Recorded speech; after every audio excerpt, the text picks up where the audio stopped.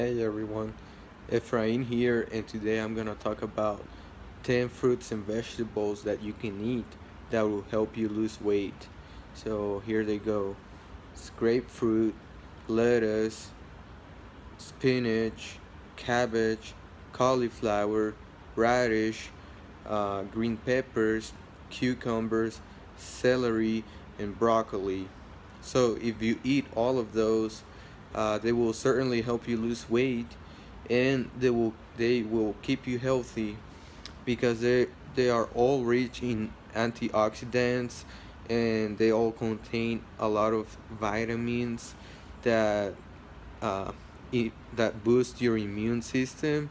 So if you eat those, not only are you gonna lose weight faster, you're gonna be able to stay healthy and strong you're not gonna be getting sick as often.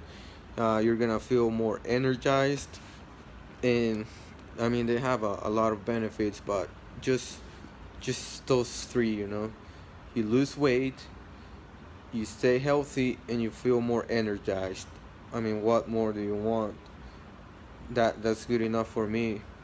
And uh, they they are all easy to integrate into your meals.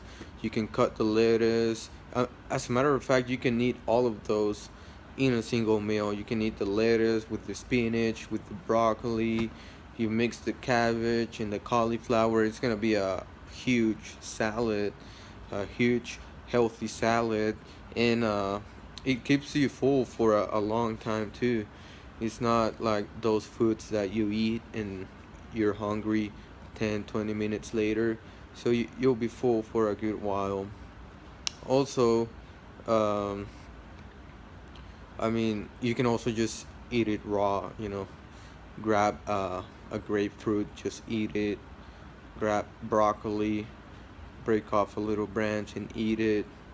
Uh, the lettuce you see the whole lettuce I've seen people do that. So it's not you don't have to get too technical with the recipes or anything like that. If you're really trying to lose weight uh, you can eat those as snacks. If you just need something to eat or something to chew to to calm down your anxiety uh, those fruits and vegetables are also great to eat because I mean it's not they're not very expensive so it's not a problem if you eat a lot of it. You can eat a whole lettuce and you won't go broke.